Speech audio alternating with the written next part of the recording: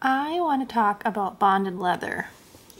When I purchased my couch, I asked her if this was real leather, and she said, Yes, the leather is bonded.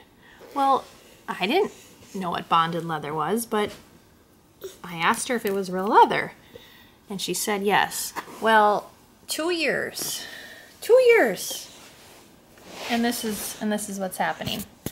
I I bought some uh, some stuff to try to fix it, but yes. So stay away from bonded leather. I wish I would have known about bonded leather before I purchased this, and I hope this helps you out.